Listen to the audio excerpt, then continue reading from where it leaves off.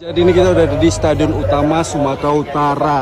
Jadi yang udah punya tiket atau undangan tuh masuk dulu ke dalam. Nanti perhatikan kalau ini pintu selatan, sana itu pintu barat, nanti sana itu pintu utara, ya.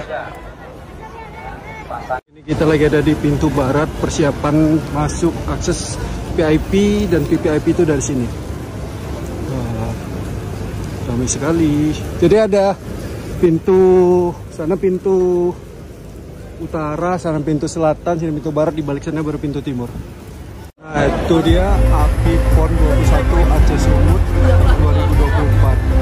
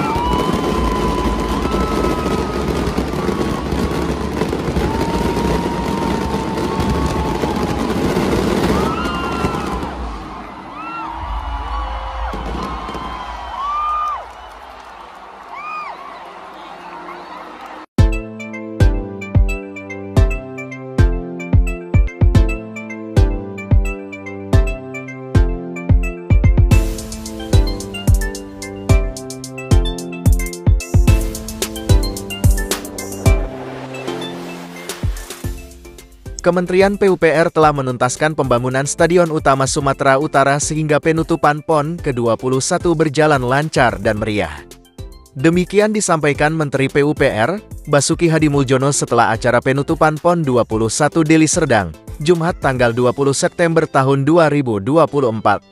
Untuk mendukung kelancaran PON 21, Kementerian PUPR melaksanakan pembangunan Stadion Utama Sumatera Utara di Desa Sena, Kecamatan Batamkuis, Kabupaten Deli Serdang. Pembangunannya dilakukan sejak September tahun 2023 dengan anggaran 587 miliar rupiah.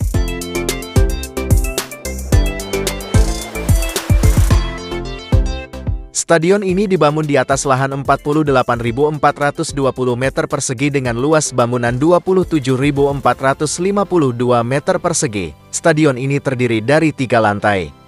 Lantai tribun total kapasitas 25.750 penonton terbagi.